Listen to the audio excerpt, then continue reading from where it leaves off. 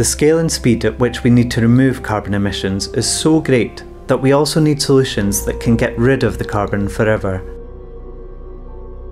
My name is Talal. I'm from Oman and I'm the Carbon General at 4401. Global warming affects everyone. When I was a child, it would rain once every year or two. Now, here in Oman, we get cyclones on an annual basis. The world has exceeded its limit for carbon dioxide emissions. Our solution can help us capture and remove some of that carbon dioxide permanently, and we have to act now. In response, the team at 4401 went directly to the source of the problem. When I looked at the whole carbon cycle, I realized that removing carbon dioxide from the atmosphere is the number one priority, given the amount of knock on effects having that excess CO2 in the atmosphere could lead to.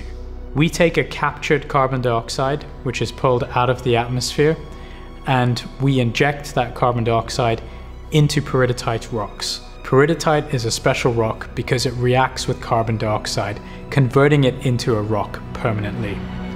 Our process and our technology speeds up this natural reaction.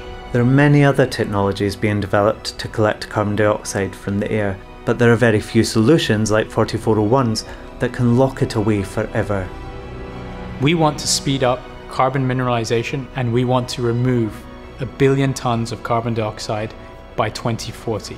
Just to give you an idea of how much carbon dioxide that is, that is equivalent to all of the world's emissions from airlines.